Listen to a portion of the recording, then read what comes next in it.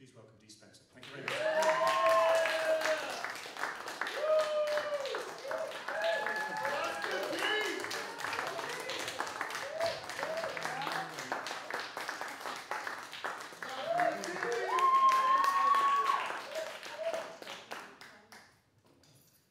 Well, thank you, everybody. Thanks for having me. It's my very first festival.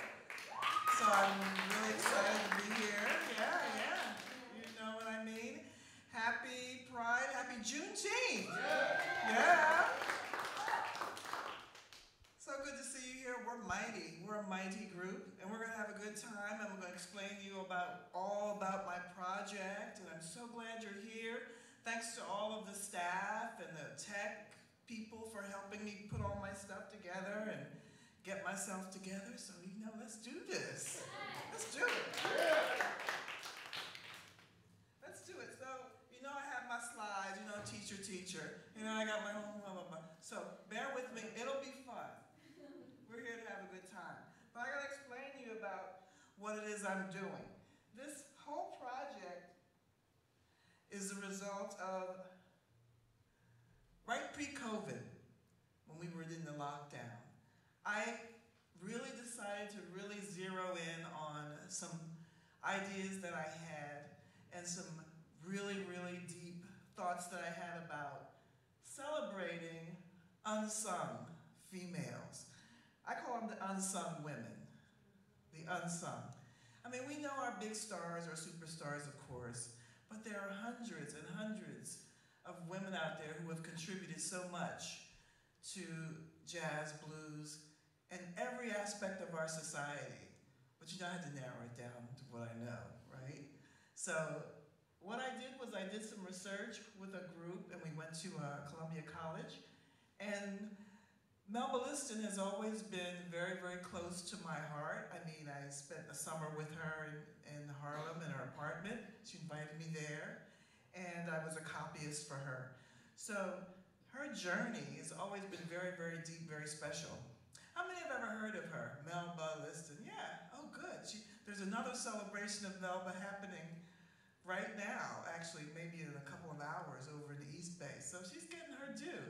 Maybe she won't be unsung for long. I have to come up with another person, right? That's not a bad thing. Anyway, that's what this whole thing is about. It's about celebrating uh, females and celebrating our unsung women artists. All right. So, we're going to start off with a song that I wrote about unsung women. It's so simple. I want everybody to sing along. It's like a, it's like a sing along, but it's so simple. So, it starts off with the verse, unsung woman. Unsung woman,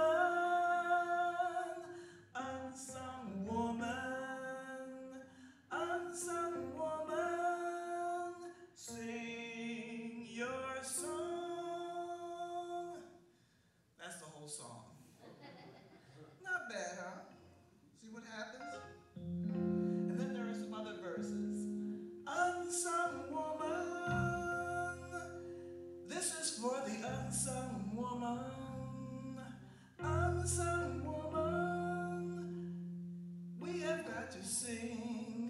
Song. And then the second verse is Unsung woman.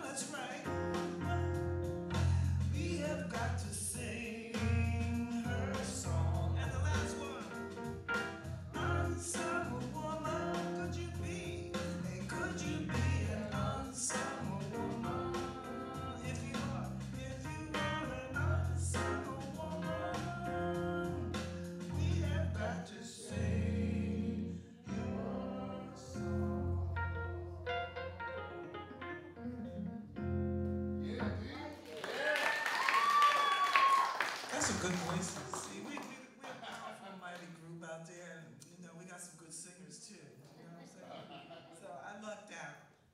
All right, moving along.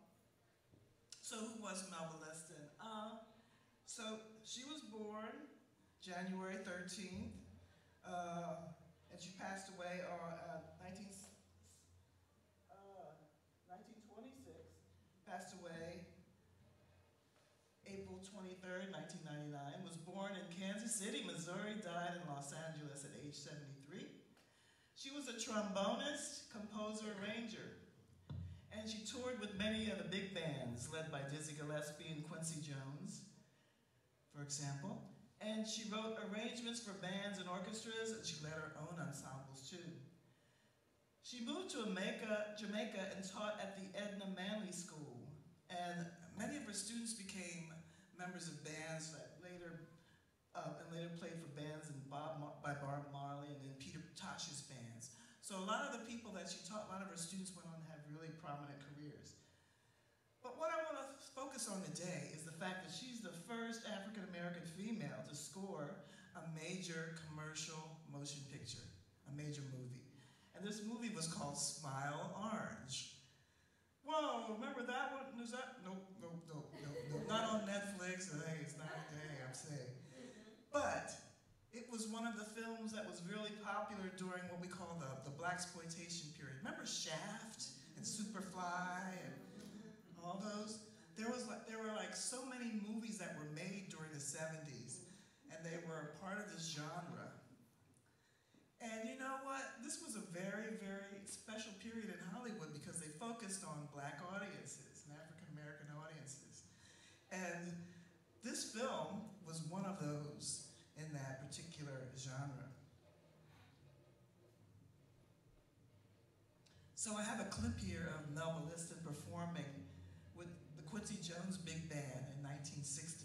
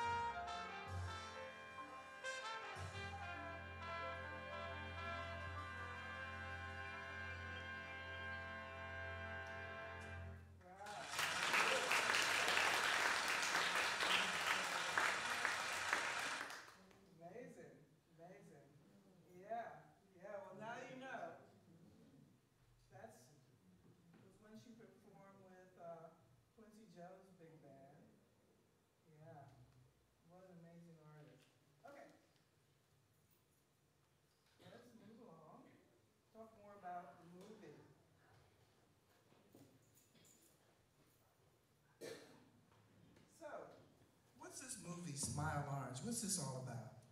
Well, it was again one of the black exploitation films, and uh, it was written in 19 was released in 1976, and it was based on a stage play that was written by a Jamaican playwright named Trevor Rhone in 1971. So it started out as a stage play, then became a movie. It was performed for the very first time at the Barn Theater in Kingston, Jamaica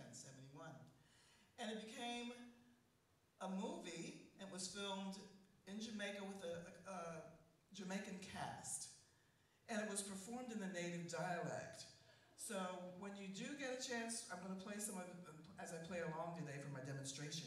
You'll get to hear the very, the thick regional dialect that it's in. They didn't, yeah, the patois, yes. Thank you, Debs. All right. So the film, the film score for Smile Orange, of course, was composed by Melba Liston. And Smile Orange got got pretty good reviews, but it was considered by some to be funny and deadly serious. Deadly serious, whatever that means. Um, but I'll tell you a little bit about what was hidden inside it. It's a satire about the plight of the working class in Jamaica, and it deals with the day-to-day struggles of Jamaican people who specifically worked in the tourism industry. And the tourism industry, which is still big in Jamaica, as you know, was booming in the 1970s. And many of the Americans uh, went to uh, visit Jamaica as a result of a huge marketing campaign. Come back to Jamaica. Come back to Jamaica. This was a huge campaign. So I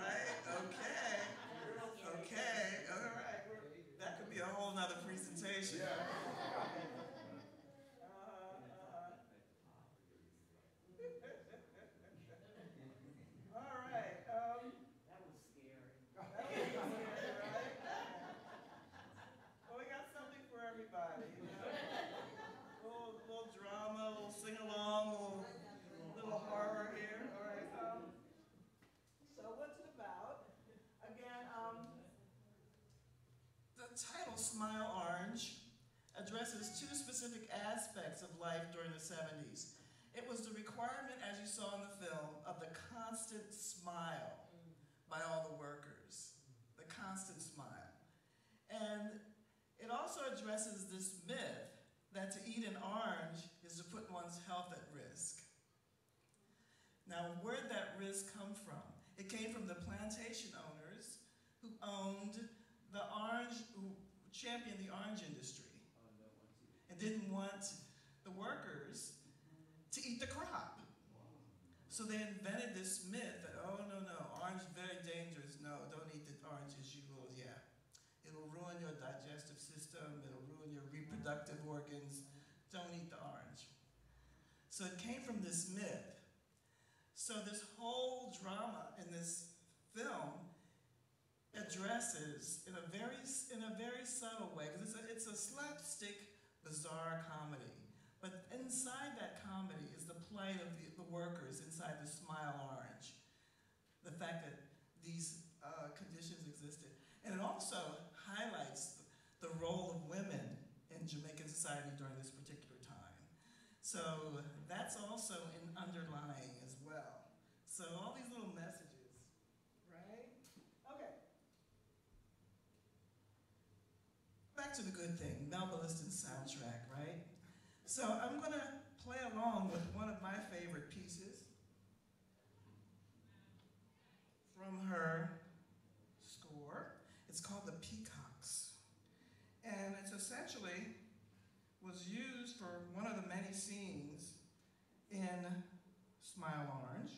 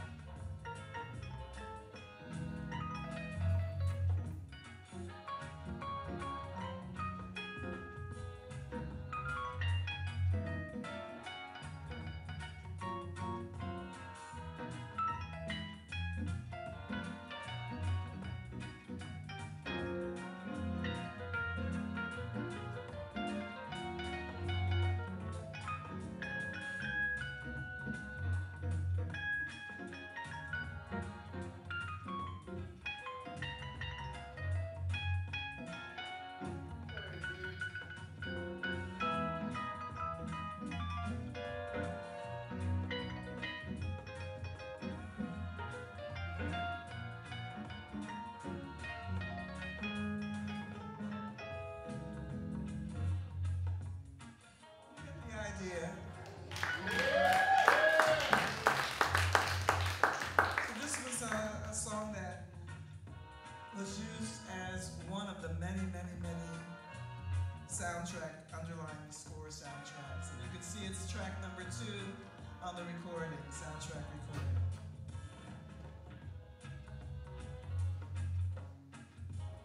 So the recording also had the Smile Orange theme, songs as well, and as well as Ringo Smith.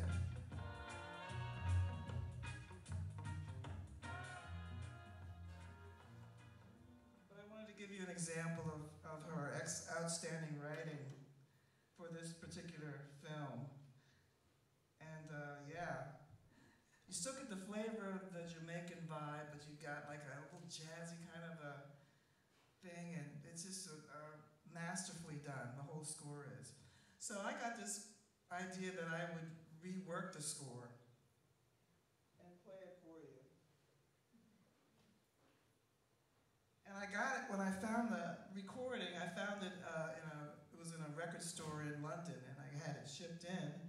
And when I read the liner notes and, and realized how the process of, of doing this, I really developed a whole renewed um, appreciation for her. So um, anyway, let's move on. So today's session, what are we gonna do? What are we gonna do? I'm gonna show you an edited clip of Smile Orange, and I'm gonna play along with it. I'm gonna play the score as a reimagined score. Um, all the dialogue will be included, and because it's a, a Jamaican cast, they're performing, of course, with original accents and all that. But for the opening scene, in the film clip, you'll see the opening character. His name is Ringo. So Ringo's kind of a kind of like a. He's kind of like a prankster, prankster kind of a guy. And uh, he awakens in this film, in the scene. He sneaks away with his Mrs. Purse. So you'll see that in the scene. And he also steals the family car, by the way. But he's heading to work as a waiter at the Mocho Beach Hotel, which is like a third-rate hotel on the north coast of Jamaica. It's not your five star, it's not your three, it's not your two, it's probably like a one and a half or something. But anyway, his antics on the way, he picks up a hitchhiker, you'll see that. Um, then you'll see a scene of, with the film credits as the tourists arrive. And then you'll see uh, the missus arriving oh, Ringo and his buddy are sizing up the tourists when they arrive. You'll see they're like, oh, that one there. Oh, that one. Oh, I'm gonna. Oh, yeah, yeah, that one. You'll see that. What you also see is the missus and her brother, or her two brothers and the missus are always are constantly chasing him throughout the whole movie. That's the movie. It's like we gotta find him because he stole a car, he stole our money. La, la, la. Anyway, the missus arrives at the hotel looking for Ringo, and she gets into a big fight with the um, manager who's trying to make the establishment look respectable. And here's this woman is, where is my, where is he? He, I know he's here. Blah, blah, blah. Makes a big thing. Ringo then hides in the garbage bin, and you'll see the antics as the hotel manager searches for him. So it's like what? It's like it's pretty like silly, right? But within that, you'll see the, the inside of, of the lives of a lot of these. So I, give me a minute while I pull up this particular clip because I don't think I remember to do it. I'm just being honest. You know, I was like, no, there's something I was supposed to do. Um, all right, all right, all right. Here.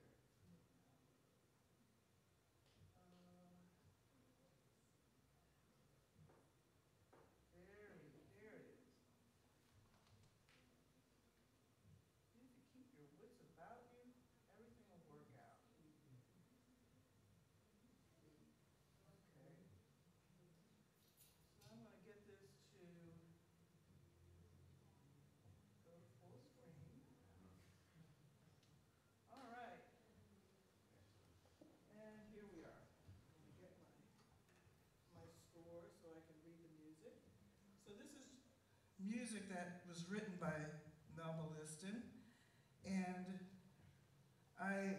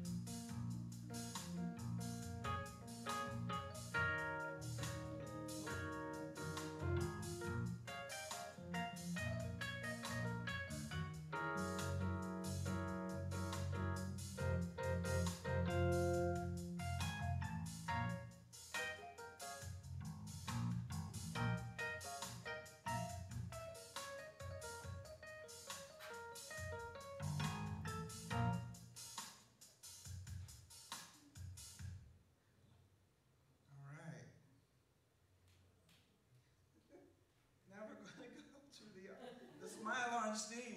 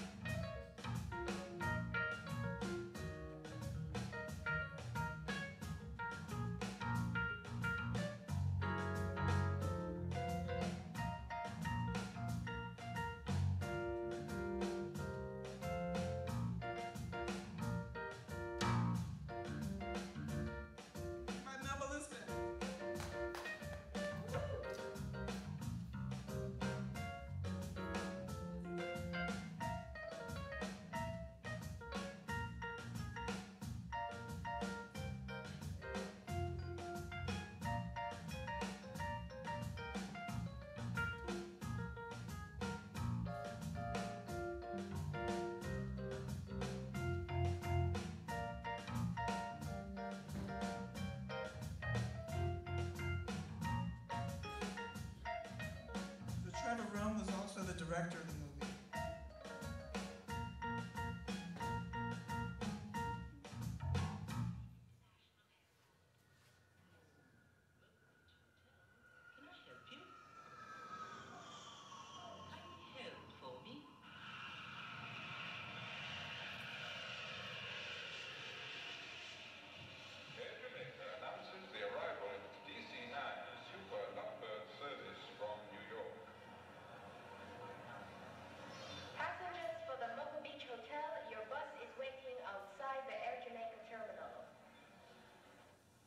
need to.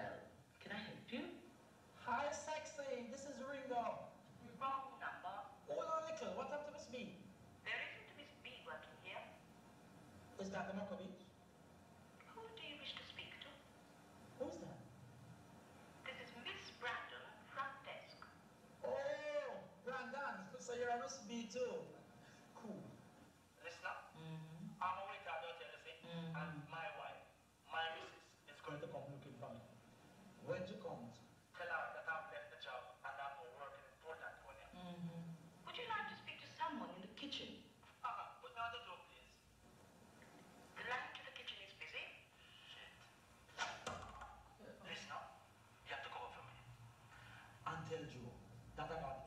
사람은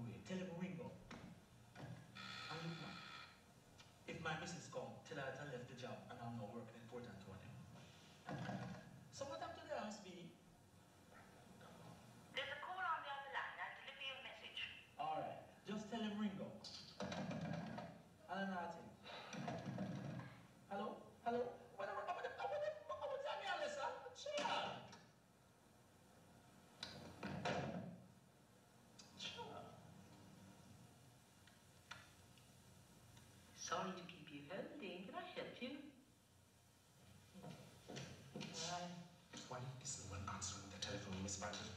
This simply will not do. No one in the kitchen, everyone asleep. I have to wake up the taxi drivers myself and tell them to go and pick up the guests. Miss Brandon, is this the first time you've ever operated a switchboard, Miss Brandon? There's no reason to look at me like that, Miss Brandon. You see, in business... But the Beach Hotel, can I help you? It's for you. Miss Brandon, how many times do I have to tell you? No calls through to me until you find out who it is on the...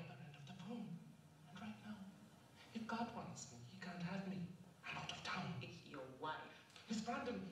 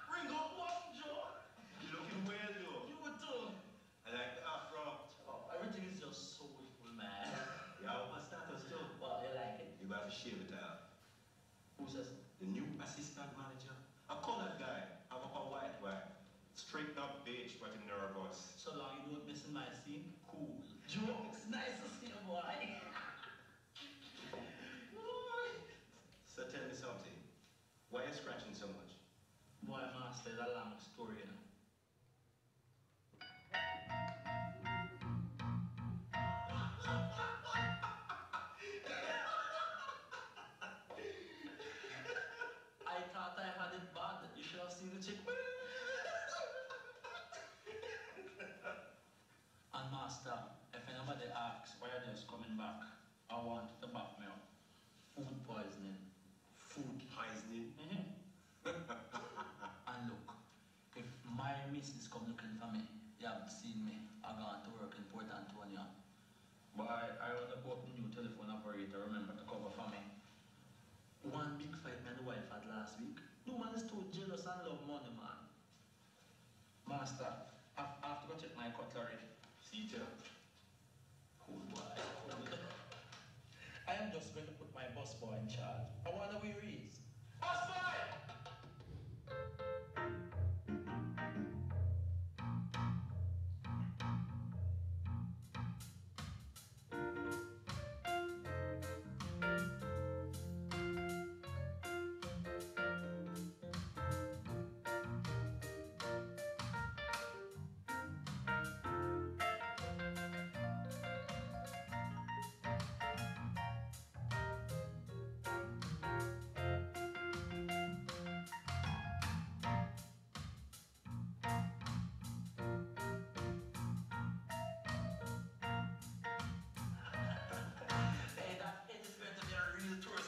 Attraction this season.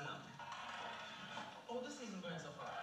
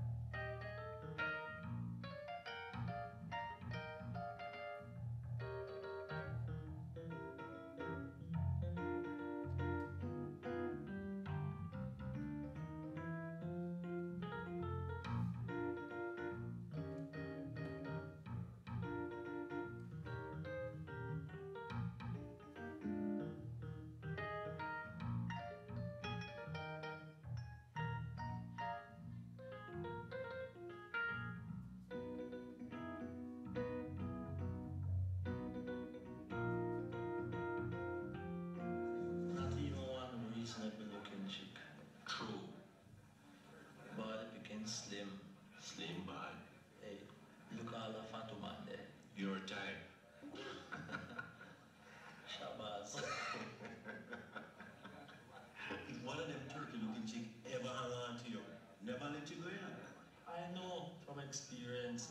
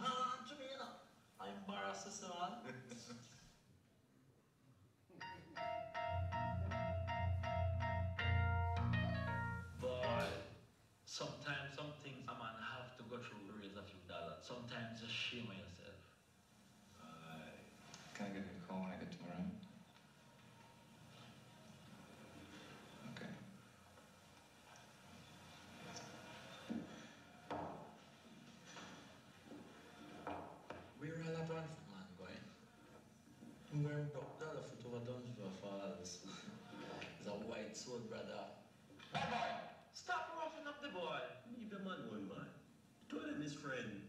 It's just a part of my play, you know. White people love some black people bow down and say, man, me touch ground. As long as I can find a dollar bill down there. White people must pay, man. Look how long they've been carrying us down.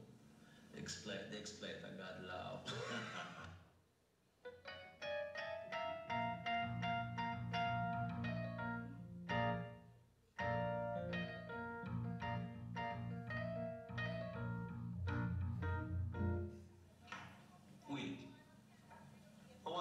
not to talking with the assistant manager. she looked like your missus. My missus, where? Is your missus, yes? Yeah, always been.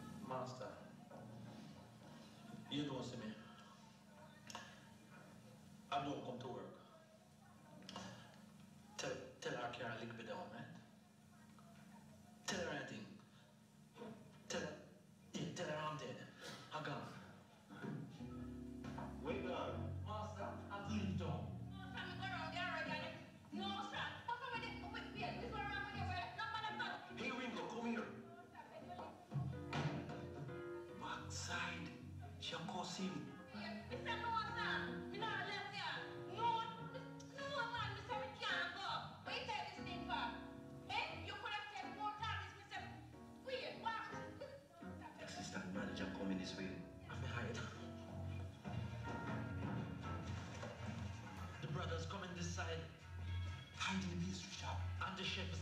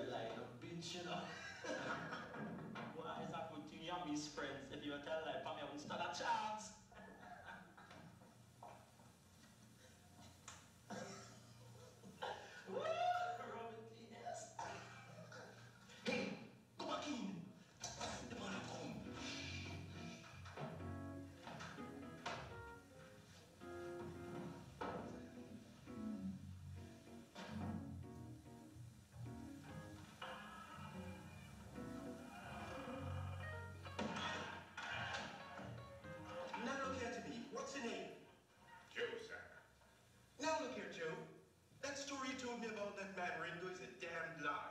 I'm not an idiot, you know. The next time you try to cover up for anybody, you're both going to find yourself out of a job. Who threw that banana peel there again? I don't know, sir. Make a trade with you, sir. I can do it myself. There's a garbage bin over there, you know. Do you know what it's there for?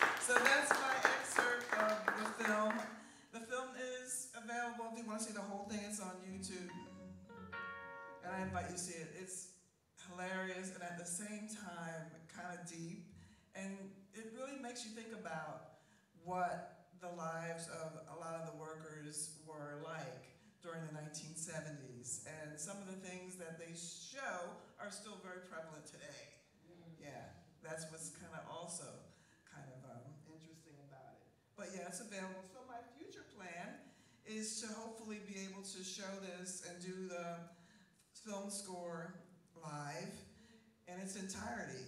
It's a 90 minute film, so it's not a big deal. So yeah, that's what I'd like to do eventually, is just be able to play along and score the whole thing. Yeah. So I wanted to leave some an opportunity if you had any like comments, questions. How did this happen? All that. Sure. I want to know how you were with Melba Liston Oh yeah. summer. And that's pretty well. Well, yeah, it was amazing. I went to a jazz festival. I went to grad school at WashU in uh, Missouri, St. Louis, and she was performing there at a festival. Um, really small performance, sort of like this.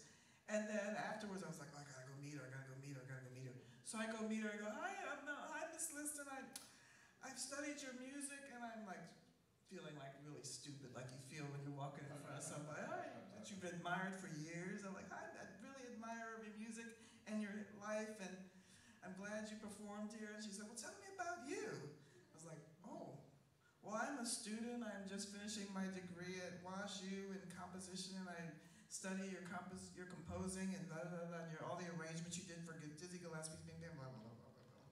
Talking probably way too much. She says, You know, you ought to come hang out at my house this summer. You ought to come stay with me. Uh, I have a house in um, New York and Harlem. You ought to come because I need a copyist. Back then, you didn't go to Finale, and you know you didn't have Sibelius and Finale. You had someone actually copy your music. So I got the gig to copy your music. What year was that? 1980. When did Mom pass away? It was the same year, 81. 81. Yeah, it was 81, 82.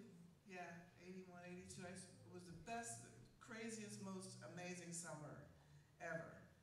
Going back and forth, because I'm from Delaware. So I would take the train back and forth to Wilmington, to New York. And yeah, it was great. And I learned so much in that one summer from studying with Melba Liston and being her copyist. than I could have learned, you know, in all the four, eight years, you know. Because I met so many people. Because her place was like a never-ending stream of like famous people coming in and out to say hi. And I would go, wow, that's really so, oh man. And they just sit down at the kitchen table talking about the old times, you know. So I learned a lot about history. So yeah, that's how that happened. And here I am still talking about what she did and some of her achievements. Because I think this film is hilarious. It's like, it's really the dumbest, best film you'll ever see. you know? Any other questions? I've never heard any singing. I'm from the South too. Right, okay. I'm from the South, but I never heard that. They never played that. Uh-huh. All they played was, uh, you know, white people playing, uh, like black people. Mhm. movies and Mhm, stuff like that. mhm, I mhm. went to that kind of show. that Mhm. And I'm eighty-one years old. Oh, wow, let's hear it for you. Yeah, 81. Well, hats off to you. Wow, that's amazing. Yeah, but it's the first time I ever heard of that lady. Wow, well, thank you for being, thank you for coming and, and yeah, just being here. Jeez, you look great for Wow, I just had to say, I'm just saying, I'm just saying, I'm just saying it's great to see that you're, you know, here supporting me and supporting the festival. Thank you for supporting the festival. Yeah. All right. So, yeah, if you have anything else you'd like to add, or like I say, this is a work in progress. I eventually want to do the whole score, and you know, and and and show everybody the whole thing, and yeah, maybe outdoors in one of those parks, you know, when you go and see the films. I'll be in front playing, you know. and- Yeah. I- Yeah. Yeah, because I edited it, yeah. I had it specifically edited so that the, so I get a chance to play, so, yeah. And that was, yeah, that was a feat in itself. So I kind of know the movie inside, I know all the lines and everything. Yeah, but I won't recite them along. But yeah, thanks so much.